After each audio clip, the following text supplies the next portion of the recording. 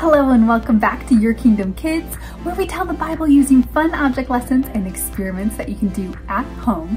Today we're going to continue on with the book of Acts chapter 9, where we find a man who is trying to arrest and kill Christians, but after one supernatural encounter with Jesus, he's completely transformed and you'll be surprised who he actually is. So stay tuned. Okay, go ahead and grab your Bibles and turn with me to Acts chapter 9. And once you're there, we're gonna find a man named Saul, who actually goes by a different name, which we'll get to later.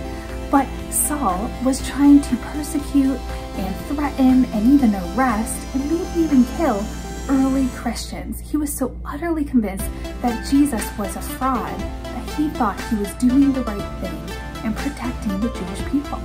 But something incredible happened to him. While he was walking to a town called Damascus, a light from heaven confronted him and shone down on him. And suddenly he fell to the ground and heard a voice saying to him, Saul, Saul, why are you persecuting me? Who are you, Lord? Saul asked. And a voice replied, I am Jesus, the one you are persecuting. Now get up and go into the city, and you will be told what you must do.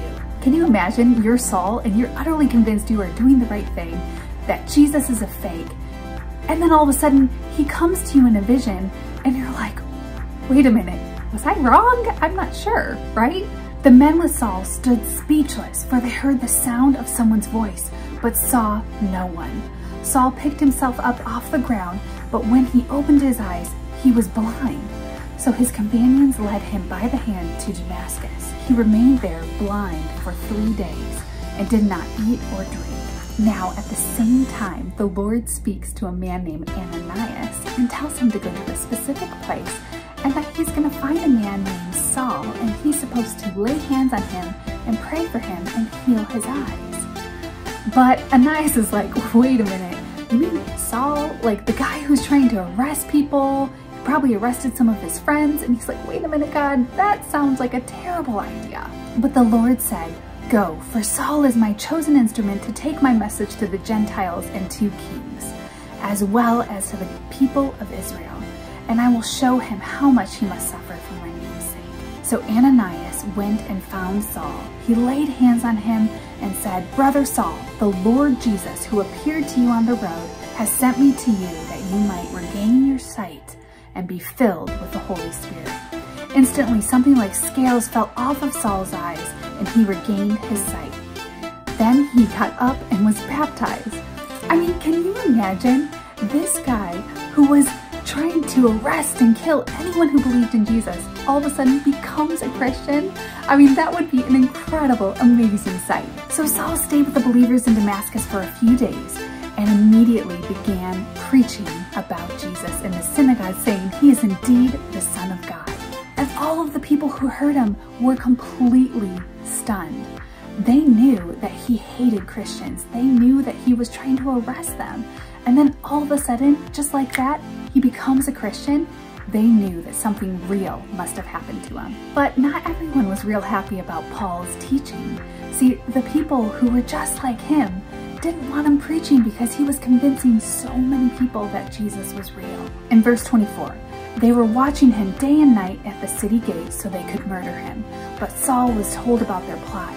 So during the night, some of the other believers lowered him down in a large basket through an opening in the city wall. When Saul arrived in Jerusalem, he tried to meet with the believers, but they were afraid of him. They did not believe he had truly become a believer. Then Barnabas brought him to the apostles and told him how Saul had seen the Lord on his way to Damascus and how the Lord had spoken to Saul.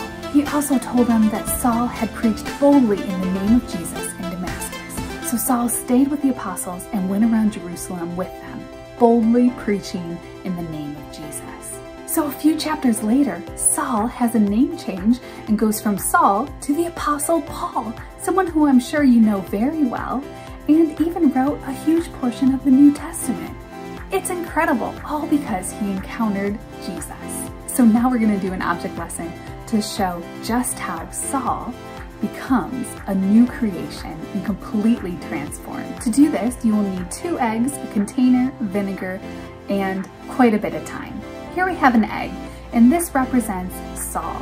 It has a hard exterior, and as the Bible tells us, Saul was not kind to Christians. In fact, he wanted to kill them. But on his way to arrest Christians, Jesus encounters Saul, and this encounter is represented by our vinegar here. And we're gonna pour the vinegar over our egg, and this encounter with Jesus left him blind for three days. And we're going to soak this egg for several days, just like what happened in the story. And after three days, Ananias prayed for Saul and the scales fell off of his eyes. And as you can see here, after the egg is soaked in vinegar for several days, the hard exterior falls off and it is completely transformed into something new. From Saul to Paul.